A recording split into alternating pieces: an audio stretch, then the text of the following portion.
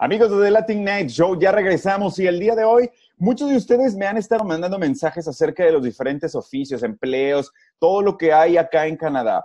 Uno de ellos, y muchos eh, por un tiempo fue una tendencia en todos lados, en Latinoamérica, en Estados Unidos, en Canadá, los barberos empezaron a emerger, pero hay gente que lo viene haciendo desde años atrás. Y por ello el día de hoy les quiero presentar a un barbero que conocí esta semana. Él es Chris. Chris, bienvenido. ¿Cómo estás? Bienvenido a The Latin Night Show, hermano. Muchas gracias, Tony. Estoy muy bien. ¿Cómo estás? Todo en orden. Platícanos un poquito quién es Chris, cómo, cuándo llegaste a Canadá, cuánto tiempo tienes haciendo de, barbero. Nosotros platicamos en la semana, pero la gente quiero que lo vea. Yo nací en Cuba, cubano, y estuve viviendo en Cuba hasta los 19 y después me, me vine acá a Canadá. Entonces llevo en total en Canadá aquí como tres años. Pero llevo trabajando como barbero ya hace ocho años. Ocho años. Entonces, empecé desde que estaba en la, en la escuela, en la primaria, y, y, después me lo empecé a tomar más en serio ya en la high school, en la secundaria, ¿no? Después la ah. secundaria, en preuniversitario.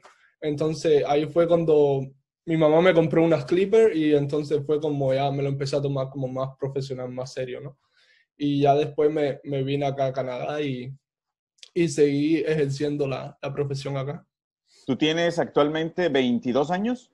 22 años, sí. 22 años, llegaste a Canadá entonces joven todavía, ¿cuál ha sido como el reto como barbero de incorporarte a Canadá? Digo, los estilos y la moda, y tú traes tu propio estilo, y creo que eso te ha dado eh, la, fama que tienes aquí en Canadá, porque yo, yo te decía, yo te encontré porque amigos ya te seguían a ti y vi los cortes de cabello que tú tenías en tu Instagram, que por cierto recomiendo a la gente que te sigan también. Eh, la verdad es que son muy buenos, pero platícanos un poquito de todo esto, tu incorporación al mercado. Gracias, gracias. Ah, la verdad, acá en Canadá es bien diferente probablemente en diferentes países también puede ser diferente, en Centroamérica o Latinoamérica. O, para mí, viniendo del Caribe, es, los cortes de pelo sí ya son un poco más, como diríamos nosotros, más calientes. Son los pelos más cortos, se usan más los diseños o diferentes estilos, que aquí es bien diferente, aquí es como más con tijeras, más texturizado, más profesional, entonces se usan diferentes técnicas. Entonces, cuando yo llegué acá, yo me acuerdo que en Cuba yo hacía las líneas con una cuchilla, pero con la cuchilla en la mano. Ok. No usábamos como el, el, el, el, el straight razor. Y entonces estaba en la barbería, ¿no? Y le estaba haciendo las líneas a uno con, con, la, con la cuchilla en la mano, ¿no? Pero había otro barbero que me abría los ojos y me decía, no, no, como que eso no era como profesional, pero yo no sabía, ¿no? Entonces, pequeñas cosas así que uno tampoco yo usaba la tijera en Cuba y bueno, sí lo usaba, pero no de la, de la forma correcta. Y todo eso también lo aprendí aquí, cómo usar la, la tijera correctamente, eh, hacerle un, un, corte completamente a tijera, lo que es un texturizado. Entonces, diferentes diferente culturas, diferentes estilos, uh, diferentes uh, lenguas. Eh. Eso, eso quería preguntarte. Tú tienes una historia buena acerca del de, idioma, de cuando llegaste no hablabas nada de inglés, ¿cierto? Nada, man, nada. ¿Y cómo fue eso? Platícanos la barrera del idioma para un barbero. Imagínate si te comunicas mal o algo pasa mal. Es, es grande la situación, pero platícanos tú cuál fue tu experiencia. Pues la verdad, como te digo, ya tenía bastante experiencia como barbero, ¿no? Pero la lengua, el idioma sí me impactó mucho, porque cuando yo empecé a trabajar, trabajaba conmigo un iraquí. Entonces, él no sabía nada de español, solamente sabía los números. Uno, dos, tres. Y, y entonces, cada vez que venía un cliente, él me decía como el uno, el dos, y arriba me decía, poquito, poquito. Entonces, eso era lo que yo entendía, ¿no? Pero entonces, yo no sabía nada, nada de inglés, nada. Y entonces también el cliente me enseñaba fotos, ¿no? Y entonces yo le cortaba el pelo, lo que sí me demoraba más, ¿entiendes? Claro. Porque como no entendía qué querían, entonces no, no quería asegurarme de no ir tan corto. Y entonces le cortaba el pelo, después venía el ir aquí, chequeaba, me decía un poquito más y así. Así fue como empecé poco a poco. Después fui a la escuela a aprender inglés, pero el programa en la escuela estaba bien lento, como que el profesor le enseñaba lo mismo y lo mismo y decidí dejar la escuela. Entonces, eh, todo el inglés lo he aprendido generalmente es trabajando. Ah, mi novia también es canadiense y es la que me ha ayudado mucho también con el idioma. Y sí, bastante impactante de verdad. Es bien difícil al principio, pero vale la pena. Si pudieras regresar y alguien que está viendo este video en México, en Latinoamérica, y dice, yo soy barbero y quiero intentarlo, así como lo hizo Chris, ¿cuál sería como el consejo que tú les podrías dar, aparte del idioma y de todo esto que, que, ya venimos platicando, que es importantísimo el inglés, aún y que creemos que tenemos un nivel, que fue lo que me pasó a mí, que ya veníamos tal vez con un cierto nivel de inglés y luego llegas acá y te das cuenta de que, anyway, tienes que seguirlo trabajando.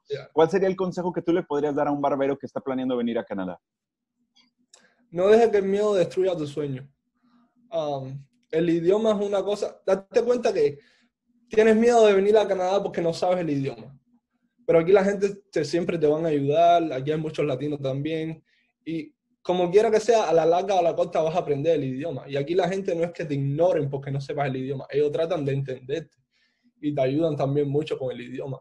Pero ya después que tú sepas un idioma que tú le tenías miedo, ya te vas a dar cuenta que ya tú no sabes uno, sabes dos entonces ahí tienes una ventaja. A, cualquier, por ejemplo, si quieres viajar, ya tú sabes dos idiomas. Entonces tienes más prioridad que otro que solamente sabe uno. Entonces, tienes que darte cuenta de eso. Siempre tienes que tratar de seguir superando tu persona, ¿no? Y seguir aprendiendo. No, no tengas miedo, ¿verdad? Que no tengas miedo. Ese sería tu consejo para quienes están viendo este video. Oye, y para quienes están aquí en Canadá, que también hay mucho mercado latino, hay muchos que están aquí y que quieren encontrarte, platícanos tus redes sociales, dónde estás trabajando, en qué zona y cuál es como tu estilo, Chris, que tú les podrías definir. Yo no me atrevería a definirlo porque, miren, yo ya fui con Chris, ya la neta se lució, pero platícanos tú acerca de, tu estilo, ¿cómo lo podrías definir? Ah, yo diría que mi especialidad más bien llevándolo a, como se dice, a un niche, sería más bien como los, los fates y los diseños.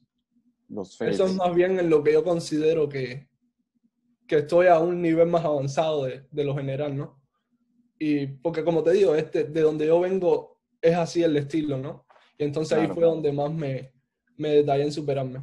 Para toda la gente que pregunta los fates, es esto que ustedes ven, las diferencias entre... Chris, neta, eh, te tomas tu tiempo para hacerlo bien, pero tampoco es como que sea una sesión de mil horas. Eh, tomas tu tiempo, pero solo para que quede de buena calidad. Sí, la verdad que al principio sí me tomaba súper como 45 minutos, una hora, pero cuando ya con la experiencia y el tiempo, sí ya siempre encuentras esa... la vía como lo quieres hacer, porque hay diferentes hay diferentes maneras de llegar a ese resultado, ¿no? Pero ya con el tiempo y la experiencia siempre encuentras la manera de que tú llegues a ese resultado más rápido. Claro. Entonces ahora solamente me tomo como 20, 30 minutos, 35 minutos para hacer un, un fade o algo así.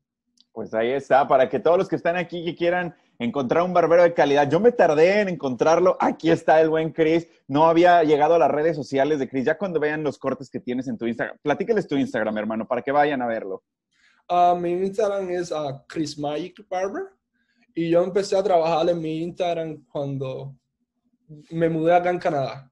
En Cuba yo no usaba Instagram, entonces hay muchos cortes míos de Cuba que se perdieron, no los tengo más. Entonces, sí, eh, todos los cortes que salen en mi Instagram son de aquí de Canadá. Perfecto, y, y sí, es bien difícil trabajar en el Instagram porque solamente no tienes que saber de, de cómo cortar el pelo, right? Tienes que representar tu persona, representar lo que tú haces, saber un poquito de marketing. Entonces es bien complicado, ¿no? no solamente saber cortar pelo y ya. Es una profesión que es muy... Que engloba varias cosas, ¿cierto? Exactamente, right. Bueno, que por cierto, el estilo, el lugar donde estás ahí en Kitsilano, hermano, está padrísimo también, toda la zona y demás. Para quienes quieran saber dónde encontrarte, ¿les puedes platicar ahí la ubicación?